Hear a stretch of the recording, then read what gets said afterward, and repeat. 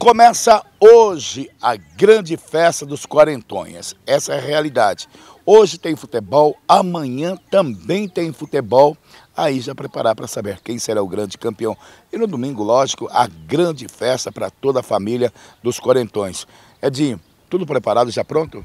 Ô, Pavão, tá tudo preparado, já tá pronto.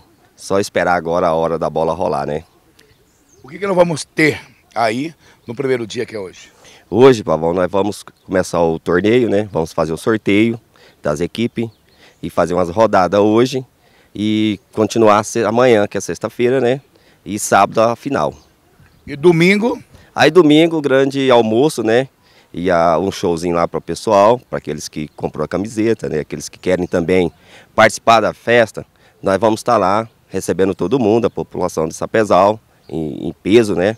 Nós estamos preparados para fazer uma grande festa lá, domingo agora. Vai ser no CTG, né? Vai ser no CTG, entendeu? Um almoço. Começa que horas? Às 10h30 nós já estamos lá, né? Já está aberto, a população está chegando, a recepção vai estar tá lá todo mundo recepcionando a galera. Nós temos uma equipe lá preparada já.